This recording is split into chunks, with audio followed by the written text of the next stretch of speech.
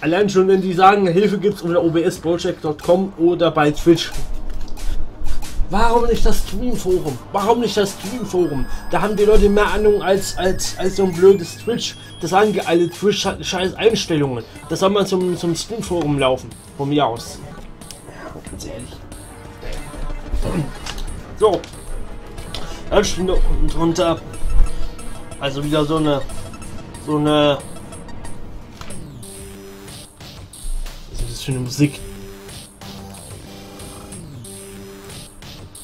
Ach, Terraria! Hm.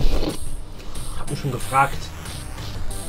Jen hat keinen Popschuss mit der Krafthecke.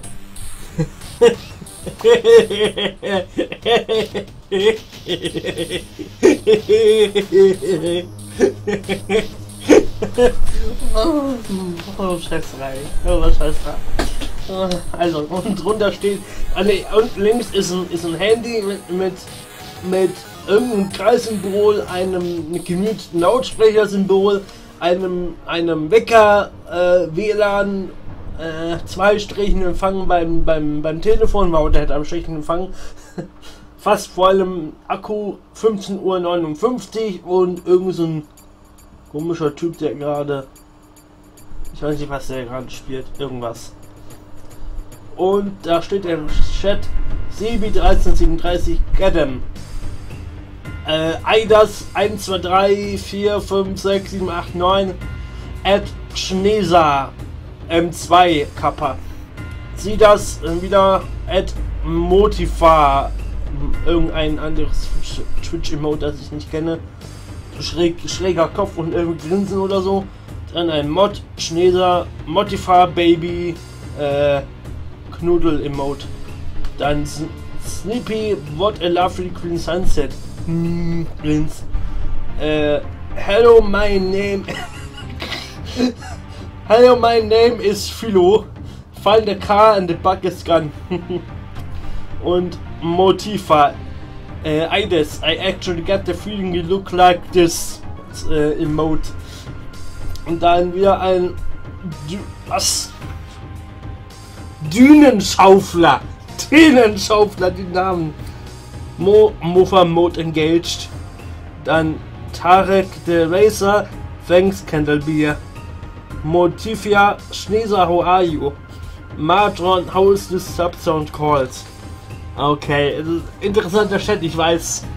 Und daneben steht auch mobil live dabei. Twitch bietet Apps für iOS, Android oder Win und Windows an, um auch unterwegs seinen Lieblingsentertainern zuschauen zu können.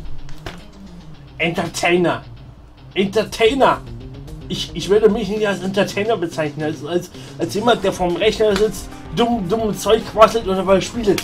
Aber nicht als Entertainer. Also jetzt würde ich glaube ich mal Gizos Talk sehen wollen. Also der ist richtig. What the fuck? Alter, ey. Also dieser, dieser Bericht, der ist so komisch geschrieben, ey. Und da steht auch unten drunter natürlich wieder als Randnotiz. Das Wort Twitch entstammt. Wie interessiert das denn? Das Wort Twitch entstammt den Proto. Proto-germanischen. Was?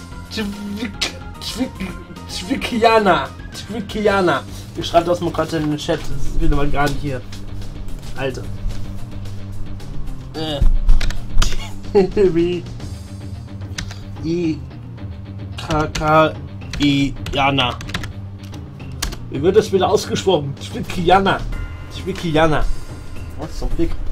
Auf dem auch das deutsche Zwicken beruht. Die schreiben da so ein Kram drin, das überhaupt keinen interessiert.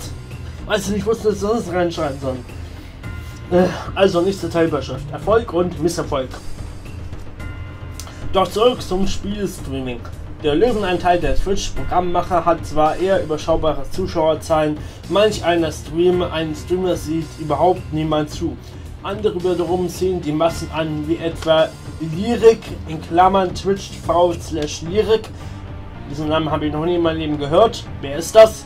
der an einem Abend locker auf über 30.000 Zuschauer gleichzeitig kommt. Das ist wahrscheinlich wieder ein LOL und LOL. Twitch ist Englisch und heißt Zucken. ja, es ist. Äh, naja. Äh, locker über 30.000 Zuschauer gleichzeitig kommt. Das ist wahrscheinlich wieder ein LOL-Streamer oder Doto oder Hearthstone oder StarCraft 2 oder Oder hier Liebes Competitive Spieleinfüg. Äh, ja. Was aber macht den feinen Unterschied aus, verdammt mal meinen Mund, äh, Mund, mein Mund, mein blöde Scheiß Ventilator hier. Ähm, ja, wieso haben manche Streamer mehr Erfolg als manche andere? Weil sie vielleicht zur rechten Zeit am rechten Ort waren, weil sie verdammt nochmal Glück hatten. War es nötig, immer aus einer Handvoll Zuschauern eine Masse zu machen, die ein Fußballstadion füllen könnte. Glück! K, äh nicht K, G-L-U-C-K, G-L-U-C-K, G-L-U-C-K, nix anderes, Glück, nix anderes. Boah. Kommunikationsforscher Christoph, Christoph, kommt der Typ schon dann, hallo, bin ich wieder, meint, aus dem Let's Play-Bereich deutet sich an, dass Akteure mit besonders hohem Unterhaltungswert beim Publikum besonders gute Karten haben. Wer witzig, schnell und geistreich ist, hat die Chance auf ein großes und treues Publikum. You don't say! Die haben aber eigentlich auch nur Glück, mehr auch nicht. Nochmal, also, aus dem Let's Play-Bereich deutet sich an, dass Akteure mit besonders hohem Unterhaltungswert beim Publikum besonders gute Karten haben.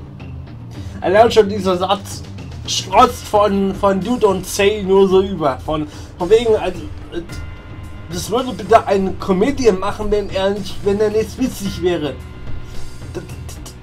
Oder ein, ein Moderator, der nicht moderieren kann. Oder was? Glück und Durchhaltevermögen, ja. Wer witzig, schnell und geistreich ist, hat die Chance auf ein großes und treues Publikum. Und was ist mit schnell gemeint und geistreich? Naja, der Erfolg ein Privileg für Charismatiker mit Talent. und dieser Satz, ein, der Erfolg ein Privileg für Charismatiker mit Talent, das klingt so richtig nach Bild. So richtig nach, nach Bild irgendwie. Oh Mann, ey. Oh Mann. Nicht nur, denn um kontinuierlich eine wachsende Zuschauerzahl zu verzeichnen, ist harte Arbeit notwendig. Aha. Wie Broadcaster Florian Marsch alias Baudusau 24 erklärt schon wieder der Typ. Ich noch was ausstoßen hier. Ich streame seit mittlerweile über zwei Jahren bis zu mehrere Stunden täglich, überwiegend Diablo 3. Das hat man noch gesehen. Mehrere Stunden heißt in Florian zwei, teilweise elf Stunden am Stück und selten unter sechs. Da wird selbst ein hartgesottensten Veteran ein, einmal langweilig. Es gibt durchaus Phasen, in denen ich das Spiel nicht mehr sehen kann. Da suche ich eine Alternative. Gute Beispiele dafür sind unter anderem StarCraft 2 und Hearthstone. Auch wieder Competitive-Spiele. Irgendwie. Irgendwie. Nun gut. Korax ist irgendwie so ausgeflogen. Muss nur der Blub schreiben, wenn er reinkommt. Okay. Äh, also ja. Blizzards Monster Gehacke ist ab Blizzards Monster Gehacke ist aber nach wie vor sein Favorit. Denn das Schöne an Diablo 3 ist, dass ich mich nicht immer zu 100% auf das Spiel konzentrieren muss. Ach, und der verreckst. Aha. Nebenbei, nebenbei habe ich daher viel Zeit, mich mit den Zuschauern über Gott und die Welt zu unterhalten oder Geschichten aus meinem Leben zu erzählen. Auch nee, das fangen ja wie dieser, wie dieser eine Typ, der irgendwie Shooter spielt und dabei irgendwie erzählt, wie er den, die letzte, die letzte Omme geknallt hat oder wie, das, wie der Typ hieß. Keine Ahnung. es geht schon lange nicht mehr um Gaming-Themen, sondern gerne auch um Sport und, Me und Medien oder gar Politik und Religion. Ach nee. Das, also ich unterhalte mich nicht gerne über sowas. Wenn ich, wenn ich irgendwas irgendwie Streams gucke, dann will ich abschalten und will nicht über, über Politik reden oder über Religion oder über, über die Realität. Da will ich über das Hobby reden und nicht über, über, über, über, über sowas. Das ist es. Das ist es. Ja, ganz ehrlich. Ähm. Da. Denn während der Sendung kann Zuschauer im Chat Fragen stellen, die der Streamer sofort aufgreifen und beantworten kann. Das hätte eigentlich nicht extra hinschreiben müssen, das ist selbstverständlich oder nicht. Diese direkte Interaktion zwischen Kanal und Zuschauer macht einen großen Reiz des Streamings aus. Wer ein YouTube-Video kommentiert, muss in der Regel ein Weilchen auf eine Antwort warten. Oder auch nicht, wenn es ein kleiner YouTuber ist. Wenn überhaupt eine kommt. Florian Morschs Community belohnt seine Aufgeschlossenheit, indem sie ihre Gunst mit vereinzelten Spenden honoriert und kostenpflichtige Abos abschließt. Letzter Rest kostet 4,99 Euro im Monat und pro Kanal. Ja. Schultag gezockt und von Sex reden. Ich. Nein, nicht du, sondern, sondern auch noch einer, der irgendwie total abfällig und dann und dann irgendwie total äh, total ähm, äh, ja mit Pleiten um sich wirft, so ähnlich wie Julians Blog, plus nicht, nicht ganz so heftig, aber auch nicht gerade außer so, so ein typischer Gangster-Klischee-Typ und so. Na gut. Oh, irgendwie äh, Ventilator, naja. Viele Zuschauer gleich viel Geld. Mhm. Das genaue Honorar aus Abo-Einnahmen und Spenden wird in einem Vertrag zwischen Broadcaster und Twitch aufgeteilt und sorgt so für eine Belohnung der vielen Stunden an live produzierten Sendungen. Kanäle, die qualitativ hochwertig sind und kont kontinuierlich rund 500 Zuschauer gleichzeitig unterhalten können, bekommen von Twitch nämlich eine Partnerschaft angeboten. Das ist vergleichbar mit den Verträgen, die YouTube mit Videobloggern schließt. Partner von Twitch haben die Möglichkeit, durch ein von ihren Zuschauern bezahltes Abonnement bzw. durch Werbepausen für Nicht-Abonnenten ihre Mühen, Mühen in bares Geld zu verwenden. Als ob das eine Mühe wäre, aber nun gut. Wenn ein Streamer regelmäßig live für spannende Spielszenen sorgt, seine Videoinhalte eine gute Audio- und Videoqualität aufweisen und er darüber hinaus charmant und witzig ist, sind 1000 Abonnenten mehr und mehr durchaus möglich. Kontinuierliche Präsenz über einen langen Zeitraum vorausgesetzt. Das liest sie so. Gangster. Ich geh mal wieder raus. Äh, ich mal wieder Jaut rein, Dudes. Jaut, Jaut. Okay. Bis Tschüssi. Ähm, ja. Das siehst du echt so wie so ein Tutorial und so. Und als wäre das so einfach. Ich meine, Stream an sich ist einfach einfacher als Let's Play. Man muss einfach nur um OBS anschmeißen und, und, und Dashboard und fertig ist und ein paar Einstellungen machen. Aber so groß viel muss ich nicht machen. Wie lange geht denn der Artikel? Ich glaube, der geht, der geht noch ein paar Seiten. Der geht noch ein paar Seiten, der Artikel. Ich meine, wir haben doch Zeit, wir haben doch halb vier. Von daher. Im Regelfall kann man davon ausgehen, dass der Abobetrag 1 zu 1 aufgeteilt wird. Nach manchen Angaben gehen von 4,99 Euro Monatsgebühr 3,50 Euro an Twitch und 2,49 Euro an den Broadcaster. Wer rund 1000 Abonnenten hält, kann also auf ein monatliches Einkommen von über 2000 Euro kommen. Ja, das ist. Äh, okay, wenn du meinst. Freiwillige Spenden von großzügigen Zuschauern sowie Einnahmen durch eingeblendete Werbespots wären ein weiteres, nicht zu verachtendes Zubrot.